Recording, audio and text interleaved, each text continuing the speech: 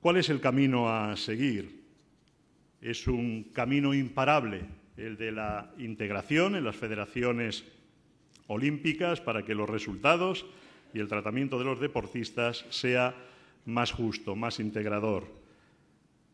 Las repercusiones también en los medios de comunicación se han transformado de una forma espectacular. Fijaros, en Atlanta 96 solo teníamos un periodista, pobrecito.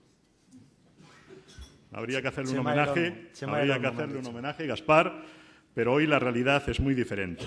80 ¿eh? profesionales de los medios en Pekín.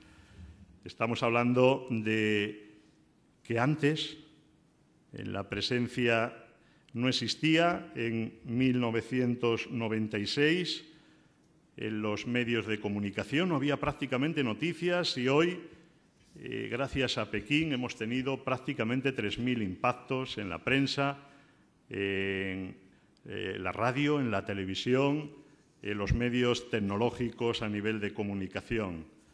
El cambio es tremendo y tenemos que agradecerlo, es posible.